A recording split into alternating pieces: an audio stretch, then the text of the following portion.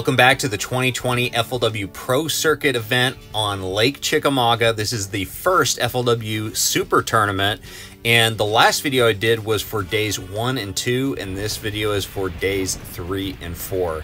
And at the end of the last video that I posted, which is also on my channel, uh, day two was very, very rough. Uh, I ended up struggling until around 11 o'clock, but then found a really clutch uh, mayfly hatch pattern that really pushed me through and allowed me to catch 16 pounds and then cull up to 17 pounds by the end of the day. So in really good position going into day three. And, uh, and so obviously I'm going to go fish that, that mayfly hatch pattern. But first I wanted to check out my primary offshore pattern that I tried on the first and second day as well.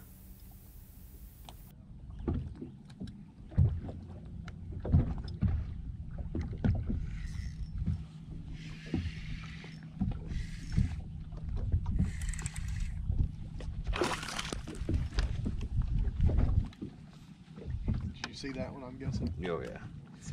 There's a bunch of them down there. I didn't think, I wasn't sure if they were bass.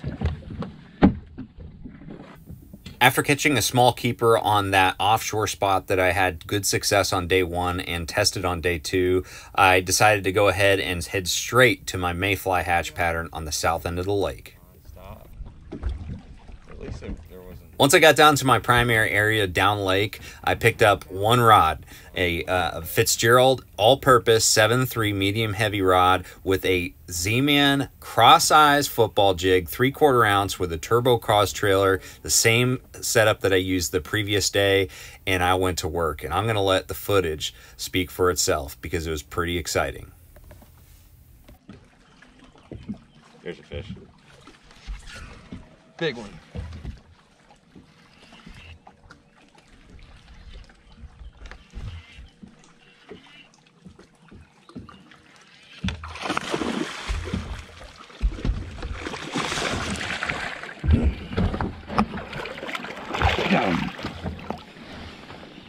That's what I'm talking about. I'll have to get a picture of that that's alright. Yeah. Heck yeah, man. The angle so bad on yeah on the on the fish. And with a heavy bait like that, dude, you can't risk, risk, changing your your angle or yep. there he is. Big one.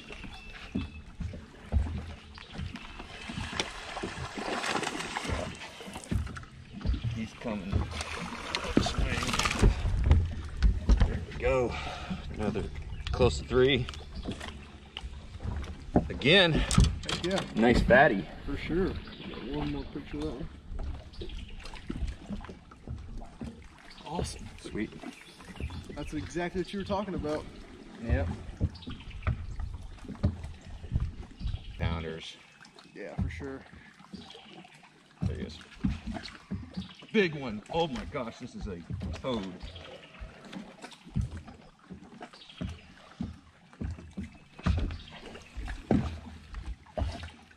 This might be a catfish. Nope.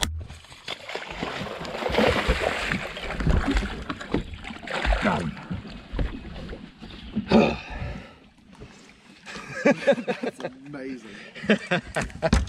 Fast and God. Look at that one. That's a grown one, ain't it? For whatever reason, it's real slow. Yeah, it's it's slow. If you hit it again, there he is. Good one.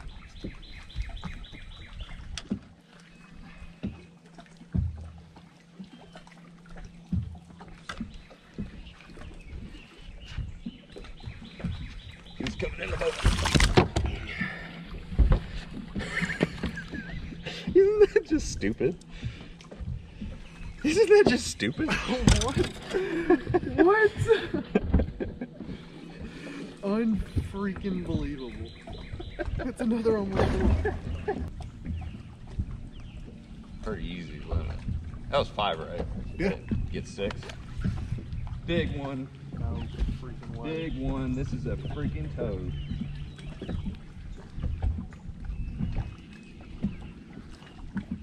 Oh, maybe not.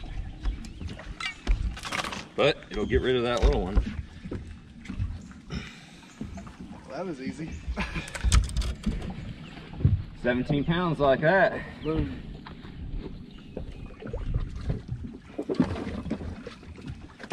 Get Mr. Rat out at least.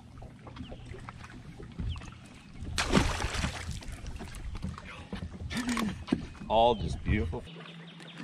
Here he is. Big one. Giant.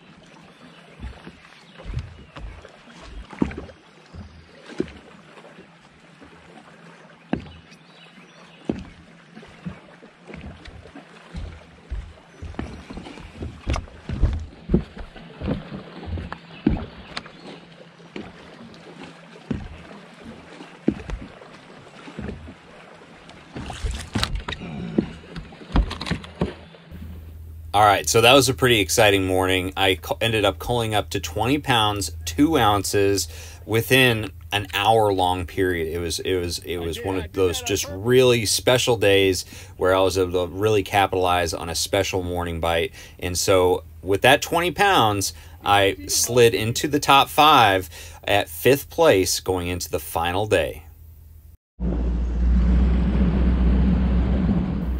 The final day, we were met with a very heavy fog that delayed us for at least an hour and a half. And uh, so once that fog was able to clear out, we finally got down to our spot, but it was going to be a much, much shorter day. And so I knew that I had a good opportunity to catch another solid bag at my mayfly hatch area, but I was also concerned that it was more of a morning bite on that spot and that because of the fog delay, I wasn't going to be able to capitalize on that morning bite. So I also had in the back of my head that I might need to make an adjustment throughout the day. I think there's going to be little windows of opportunity. There's a bite. Good fish.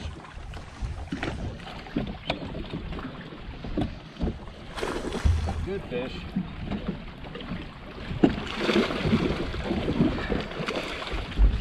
We're just going to boat flip him. All right, first four pounder of the day.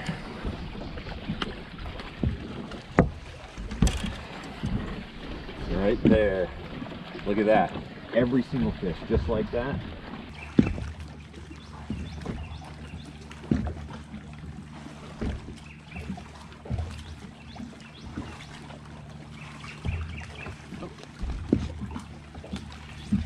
Here he is.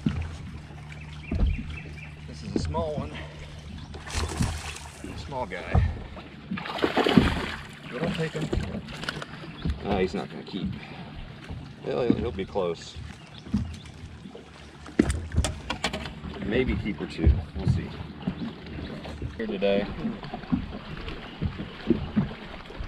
They're there. It just it, it- at some point there's there's fish. After a couple hours of fishing my primary mayfly hatch pattern, it became apparent to me that, that it just wasn't going to happen. I had missed that morning bite with one four pounder in the box uh, and a couple hours of fishing time and only a cou- other couple non keepers to show for it. I decided to move shallow because of the cloud cover and the rain uh, and pick up a Z Man leapfrogs and start walking around some shallow grass.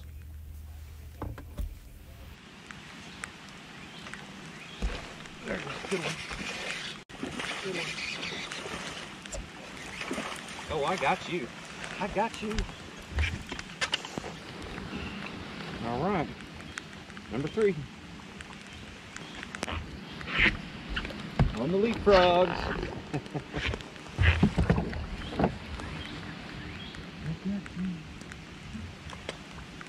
so these guys up shallow have been having fun like this all week? Without me? There they are. Maybe. That's not.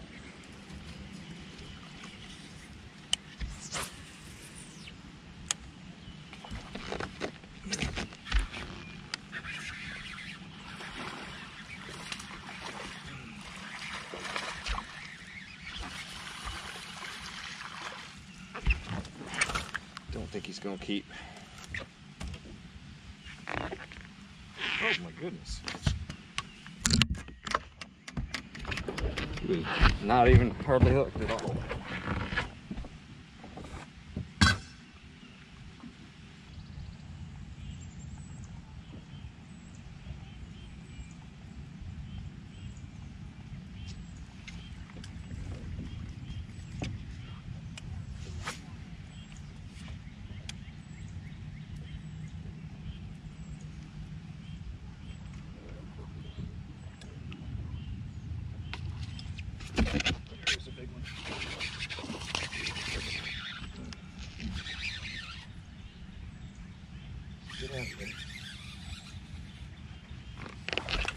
Good one.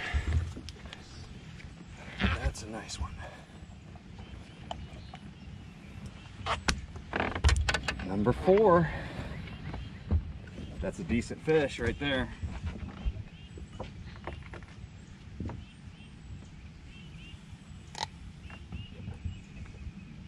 Okay.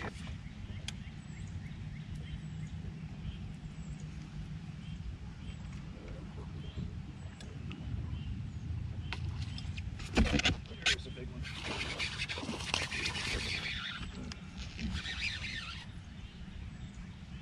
Get out of there.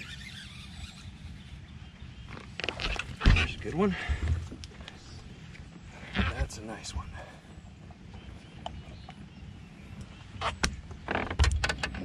Four.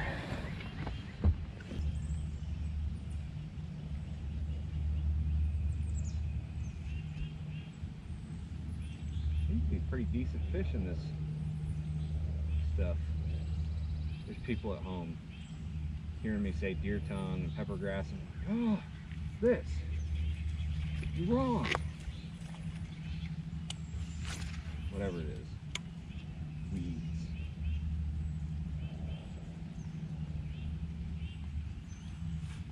Come on, baby. One more.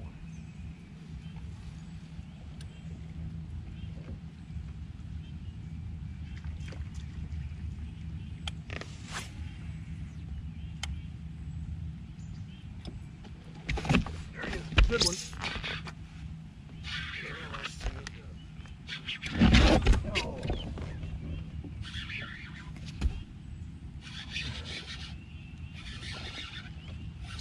Come on.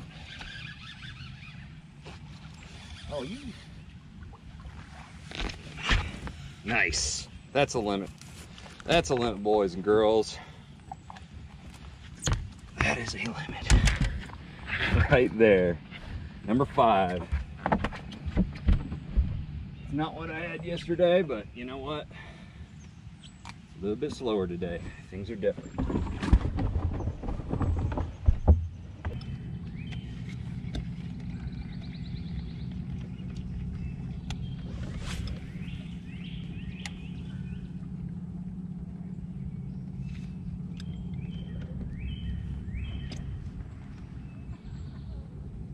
Oh man. If I'm gonna call my shot anytime today, it's gonna be right now. Alright. Well, I already called my shot on the key stretch, but as far as on a frog. Oh, what is that? Snake?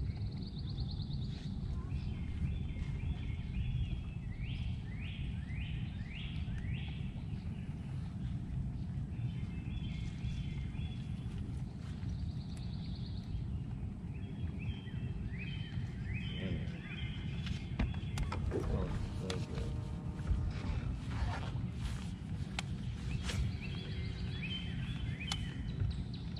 Oh, there he is.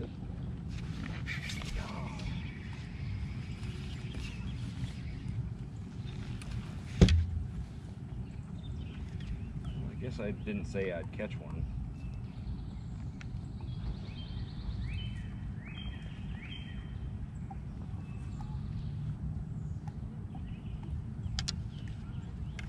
Doubt he'll bite again.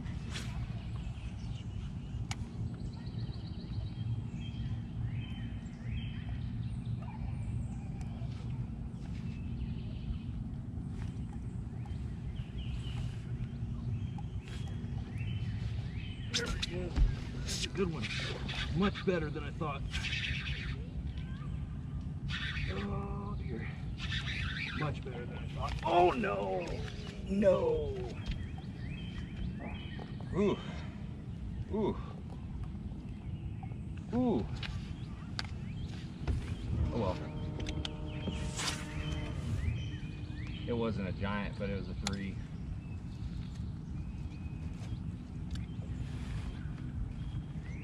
usually don't come off on the frog like that.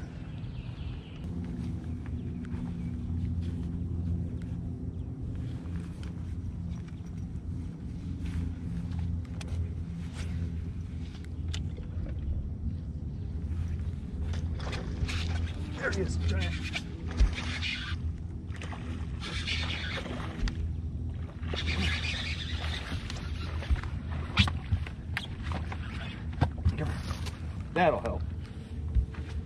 That'll help. Woo! At least a half pound call. After my primary area didn't work out, uh, making that adjustment to fish shallow, fish that frog real shallow, move really quickly, really paid off. I was I was able to really rebound and catch some key fish, fill out a limit, and though it was still the the smallest limit of, that I had all week, uh, it was still a good quality limit. And so I suspected to stay within that that top five or six spot. Uh, and overall, it was great to come back to the weigh-in, to see my wife, to be able to enjoy this moment with her.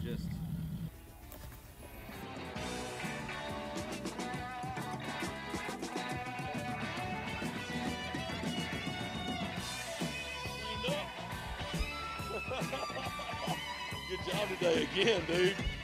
All right, here we go. Our next pro.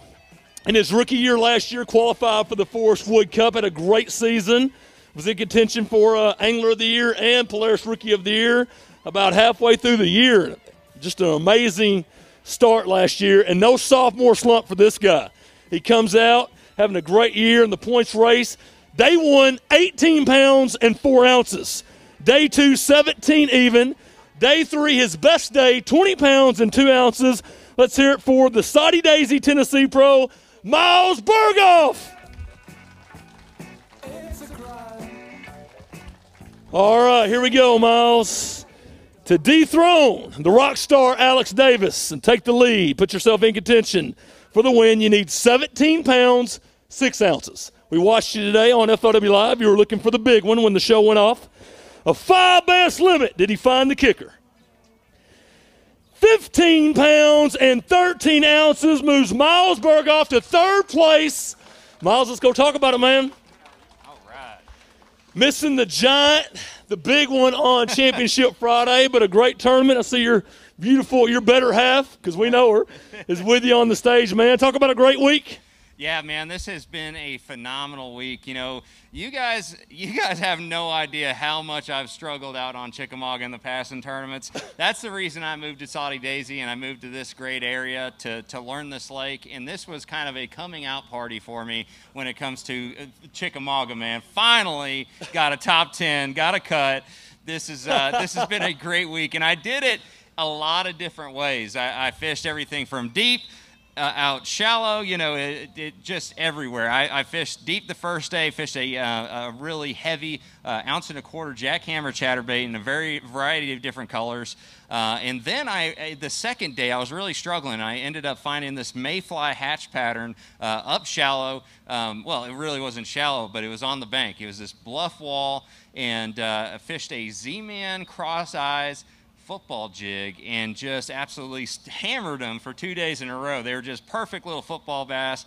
And then today I kind of had to pivot a little bit and go shallow, throw a frog, and I caught some key fish that way. But overall, it's been a great experience, and I got to, to spend it with my, my great wife. She took care of me this week. She, She was uh, over there doing this. That means cha-ching because she's getting the check. She knows she's getting some money. And she, it, she, she, she took care of me all week, and, and uh, so it, it was just great having her here. And it, well, she lives here, so it was just great being home and uh, getting to see her every single night. What did you think? I forgot to pack you more frogs. Yeah, she, she forgot to pack me more frogs. She forgot to remind me to bring a frog box. I had one frog. Luckily, I had some Seaguar uh, braid that, that held up. That's good stuff, man. Hey, listen, you do a great job on FLW Live, man. Thanks, you're man. you're cooler than the other side of the pillow. That's probably because you got your own TV show, right? Sweetwater. Sweetwater Fishing TV, yeah. Uh, How can we follow you on social media? Plug that, Miles. So yeah, so uh, I would love if you guys follow me. Uh, it- you know, on Instagram it's Sonar Fishing. On, on Facebook it's Miles Sonar Burghoff. That's my uh, business page. And uh, on YouTube, I'm really putting a lot of energy into my my YouTube channel, Sonar Fishing. Uh, and so if you want to see what happened out here all week, outside alive, uh, check that out. I'm going to be doing an edit just about this tournament. Love this guy. Let's hear it for Sonar. Miles Burghoff. Great job this week, Miles. Thank you all for watching. Make sure you like, share, subscribe, and I'm going to see you guys out on the water.